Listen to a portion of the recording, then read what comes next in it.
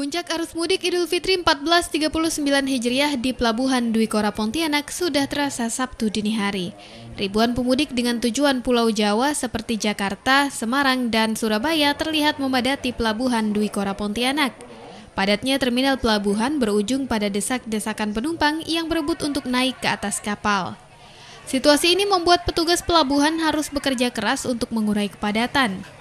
Berdasarkan data yang dimiliki PT Pelni, pada hari Sabtu lalu tercatat sebanyak 1.600 penumpang yang berangkat ke Pulau Jawa.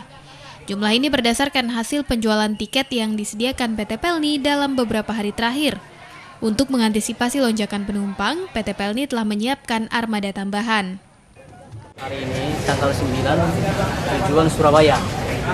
Ini menjadi uh, puncak ya. Kemudian untuk uh, tiket sesuai kapasitas yaitu 1.600. Sementara itu untuk memastikan keamanan dan kelancaran puncak arus mudik, Kapolda Kalbar Inspektur Jenderal Polisi Didi Haryono melakukan peninjauan langsung di Pelabuhan Dwi Kora Pontianak. Kapolda memastikan puncak arus mudik lebaran hingga puncak arus balik lebaran nanti akan berjalan aman dan kondusif. Kepastian ini disampaikan Kapolda setelah kepolisian bersama 23 instansi bersinergi melakukan pengamanan karena ada, ada keterpaduan dua dari 23 instansi ini tentunya masing-masing sudah punya satu peran.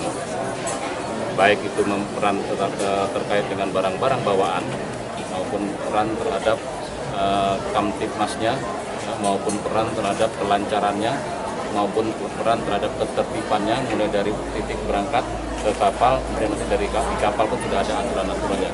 Inilah keterpaduan sinergitas antara uh, instansi yang 23 yang sebagaimana kita apelkan kemarin dan kita lapatkan di rapor lintas sektoral itu. Selain menyiagakan personel kepolisian, Polda Kalbar juga menyiagakan anjing polisi K9 untuk memastikan arus mudik lebaran berjalan aman tanpa adanya tindakan kriminal seperti upaya penyelundupan barang-barang ilegal.